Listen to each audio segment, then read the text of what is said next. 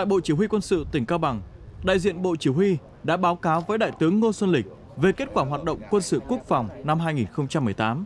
tình hình an ninh trật tự, an toàn xã hội trên địa bàn và công tác huấn luyện sẵn sàng chiến đấu của lực lượng vũ trang tỉnh.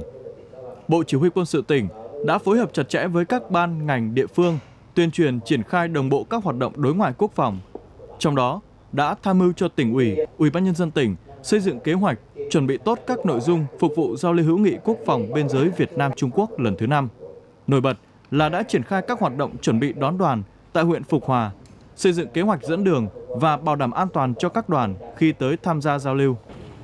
Tại Bộ Chỉ huy Bộ đội Biên phòng Cao Bằng, đại diện đơn vị đã báo cáo kết quả hoạt động, quản lý cửa khẩu, phòng chống tội phạm, công tác tuần tra kiểm soát, đặc biệt là công tác chuẩn bị cho chương trình giao lưu hữu nghị quốc phòng biên giới Việt Nam Trung Quốc lần thứ năm. Tại đây, Thượng tướng Nguyễn Chí Vịnh, Thứ trưởng Bộ Quốc phòng, thay mặt ban chỉ đạo chương trình giao lưu báo cáo với Bộ trưởng các nội dung về xây dựng cơ sở vật chất, các nghi lễ tiếp đón, kịch bản diễn tập cũng như phương án bảo đảm an ninh an toàn. Đến nay, mọi công tác chuẩn bị cho giao lưu đã hoàn tất, sẵn sàng triển khai các nhiệm vụ theo kế hoạch.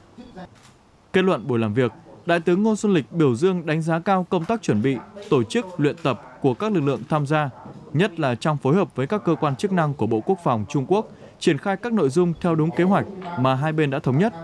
Bộ trưởng Ngô Xuân Lịch yêu cầu các cơ quan đơn vị duy trì nghiêm kỷ luật, đoàn kết, phối hợp chặt chẽ với các địa phương và Bộ Quốc phòng Trung Quốc, chủ động ra soát, hoàn tất các nội dung để chương trình giao lưu diễn ra trang trọng, thiết thực, bảo đảm an toàn tuyệt đối.